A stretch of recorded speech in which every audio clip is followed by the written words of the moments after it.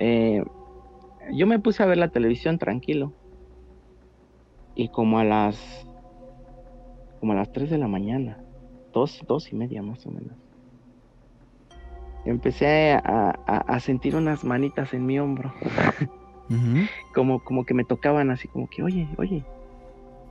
Y, me decían, bueno, yo, yo escuchaba como ruiditos así, como pasitos. Pero yo con mi sueño, la verdad, yo estaba muy cansado.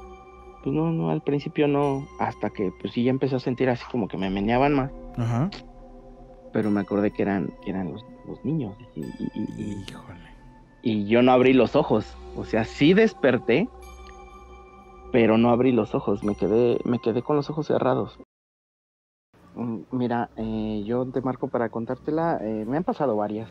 Mi trabajo eh, es de estar viajando a veces bastante. Ok. Esta historia me pasó en, un hotel cerca del ¿cómo se llama? Del mirador de ahí de Pachuca. Ok. eh, junto con yo con otros compañeros, cuando salgo regularmente hacíamos pues, competencias, ¿no? Porque pues teníamos que quedarnos en diferentes hoteles y luego pues, echábamos competencias para ver quién se quedaba en el mejor hotel. Claro. Eh, eh, a mí se me ocurrió eh, pedir un, hotel rústico con una piscina pues rústica y, techada. Okay. La verdad se veía muy, muy, muy vistoso el hotel en, la página de internet. Yo, por quedar bien con, mis compañeros, pues agarré y vamos, ¿no? Ajá. Eh, para esto ya era, ya era tarde, ya eran como las seis de la tarde, me costó un poco de trabajo llegar al hotel, está prácticamente en la, en la montaña. Eh, pero al llegar yo al hotel me doy cuenta que es completamente diferente a lo que yo veo en, eh, pues en la página, ¿no? Te das cuenta que no hay luz, eh, que el hotel está partido en, pues, en, dos partes, no partido de dañado, sino de dos, en dos zonas. Ok. En la mera entrada no había recepción. Entonces yo llego y me encuentro un chico con un, con un perro nada más. Eh, para esto, este, yo llegué, dejé mis cosas, fui a hacer mi, mi, pues, dado de alta en el hotel. Y subí a, hacer una llamada. Eh, el chico me dice que, en cuanto yo regrese, que en cuanto yo baje, me va a dar un tour por el, por el hotel. Ok. Para, para conocer las instalaciones. Entonces, este, también me indicó que había una, una área para jugar billar. Eh, lo que a mí se me hizo raro, la verdad, fue que pues en los hoteles regularmente no te dicen que eh, las, esas áreas están abiertas todo el tiempo, toda la noche. El, chico me indica que en la piscina yo puedo estar toda la noche si yo quiero. Sí, sí, es raro. Igual jugando. Usualmente hay horarios para eso, ¿no? Exactamente, y más en las piscinas, ¿no? Cuestiones de seguridad. Sí. yo agarro, regreso, me da el tour, y le digo amablemente, le digo, ¿sabes qué? Luego vamos a tomarnos una cerveza, te van a tomar una cerveza, te invito una, este, y juegas conmigo un, un, juego de billar. Sí, como no, muy amablemente, pues me, dio la atención, eh, subimos, estábamos tomando la cerveza estábamos jugando tranquilamente y platicando. Para esto, el chavo me dice, me empieza a preguntar, oiga, ¿y usted viaja mucho? Y le digo, no, pues sí, algo. Y viaja de noche. Le digo, pues no me gusta, regularmente no acostumbro. Y le han pasado cosas extrañas. y le digo, no, pues este, algunas, algunas. Dice, pues es que la verdad, dice, usted me ha caído muy bien, y le, le voy a decir la verdad. Dice, aquí en el, en el hotel, pues la verdad es falta. Ándale, te la tiró. Y le digo, ¿en serio? Dice, sí, yo a mí no me gusta decirles mentiras. Dice, aquí han salido corriendo varios, varios huéspedes. Le digo, ¿en serio? Dice, sí. Dice, y agarre me dice, mira, al lado de, la mesa de billar había unas, unas puertas de cristal que daban hacia las, este, ah, el área donde se calentaba la, el agua para las regaderas.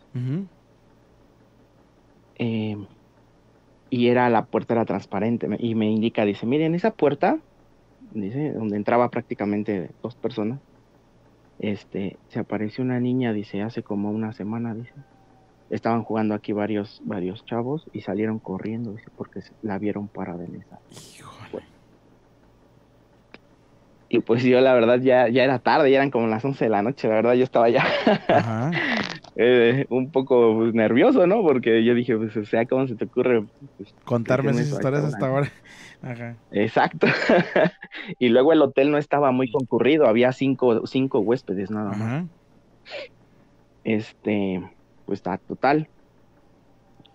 Me, me dice, yo la verdad no, no le digo mentiras. Y cuando me dijo eso, apagaron la luz. Ajá. Se escuchó cómo apagaron el, el, el, el, pues el contacto. Sí. Se apaga la luz y se vuelve a prender. Y me dice, ya ve, dice, yo no le digo mentiras. Dice, no me gusta decirle mentiras. Dice, de hecho, por eso yo este, le digo a la gente que puede quedarse aquí todo el, toda la noche. Dice, porque yo doy mi recorrido y me siento acompañado. Dice, porque aquí ah, ya sé, entonces, ¿por qué? Ya sé entonces por qué le gustaba que se quedaran ahí en la noche. Sí. Y para eso el perro que tenía empezó a ladrar. Ajá este, y él me dijo, dice, es más, dice, ah, dice, aquí luego suena el teléfono, dice, y no, no es nadie, dice, me llaman varias veces en la noche y no contesta nadie. Y para esto yo, yo en, en, así como, como todavía no creyendo, un poco iluso, todavía agarré, agarré, tomé unas fotos así al azar. Ajá. Y, y agarro y nos bajamos, nos bajamos de ahí, de esa zona. Y, exactamente cuando íbamos bajando empezó a sonar el teléfono y me dice, mire, contesté. No era nadie. No manches. y le digo, no sabes qué, le digo, no sabes qué, le digo, ya, ya, ya me voy a mi hotel. Le digo, ya me voy a mi habitación, le digo. La verdad, pues ya. Ya tuvo suficiente. Creo que es, sí, ¿no? Pero me dice, oiga, y dice, pero el recorrido a mi habitación era un caminito. Ajá. Como, como una plaza, como un, como un un caminito como una placita y, haga de cuenta las, habitaciones estaban en una como edificio rústico. Sí. Una, unas partes abajo y unas partes arriba. El acceso de unas era por enfrente y el, acceso, y el otro acceso era dándole la vuelta al edificio. El problema que yo no me di cuenta fue que al dar la vuelta hacia mi habitación que me correspondía, de ese lado ya era una montaña, ya no había nada atrás. Ajá y me dice, dice, oiga, dice, la verdad dice aquí, anteriormente en la revolución, dice, mataron a mucha gente. Dice, y le voy a decir la verdad, dice, la neta. Dice, ahí en ese cuarto en donde usted está, hay una habitación abajo. En esa habitación murieron dos niños hace como dos años. Oye, qué mal, qué, mal huésped, la verdad, Y luego. No, ¿Y luego? Y ya, no, pues yo, yo sin sugestionar me dije, pues yo, ya, ¿qué más puede pasar? Ajá. ¿No? Pues ya estoy aquí. Dije, de aquí bajarme a Pachuca, así como estaba el acceso, dije, no, y me igual y me pasa algo, dije, o sea, Ajá. pues ya me quedo aquí, ¿no? Mm. Entonces, este, y agarra y me dice, si quiere yo lo acompaño. Y justo cuando íbamos en, en el caminito, los perros se agarran y mm. se avientan, pero no había nada. Y empiezan a ladrarle, pero así, fuerte. Empiezan a ladrar y, y, y, y, el chavo los empieza a calmar, ¿no? Pero los perros seguían ladrando como si alguien estuviera como, corro, como rodeándonos. Y total, ya llegó un momento en el que se calmaron, eso duró como unos dos minutos. Pasamos y ya me subo a mi habitación. Y ahí fue donde empezó lo más... lo más cañón. Lo más fuerte, sí, lo más pesado. Eh, yo me puse a ver la televisión tranquilo. Y como a las como a las 3 de la mañana, dos, dos y media más o menos, empecé a, sentir unas manitas en mi hombro, como, como que me tocaban así, como que, oye, oye, y, me decían, bueno, yo, yo escuchaba como ruiditos así, como pasitos, pero yo con mi sueño, la verdad, yo estaba muy cansado. Pues no, no, al principio no, hasta que pues sí ya empecé a sentir así como que me meneaban más. Ajá. Pero me acordé que eran, eran los, niños. Y, y, yo no abrí los ojos. O sea, sí desperté, pero no abrí los ojos. Me quedé, me quedé con los ojos cerrados. Y, y, este. Pero sí sentía como, como se movían hacia alrededor de mí. Ajá. Y se sentía la habitación fría, fría, fría, fría, fría.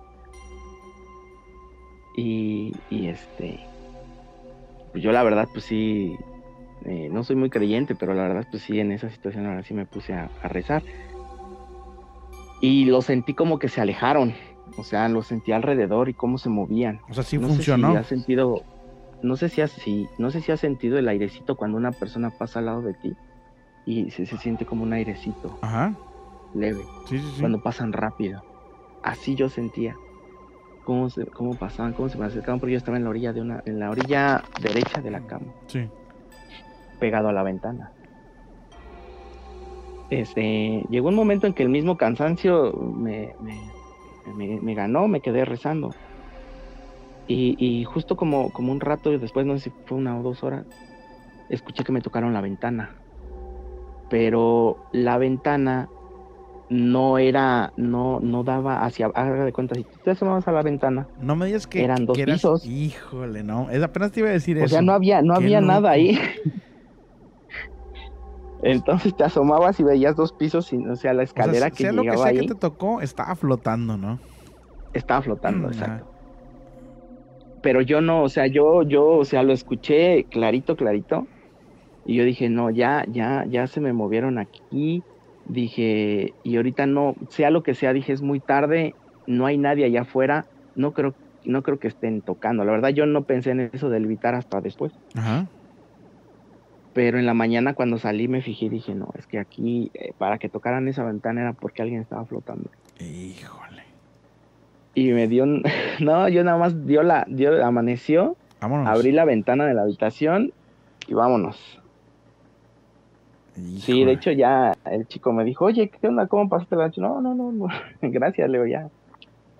Me tengo que retirar. Dicen, dicen la, la, la siguiente frase, el que duerme en casa ajena muy temprano se levanta, con el sombrero en la mano para ver para dónde arranca, ¿no? Exactamente. Híjole. Y, y esa, bueno, pues son muchas de las, de las tantas historias que me han, me han sucedido. No, hombre, te, te agradezco bastante. Y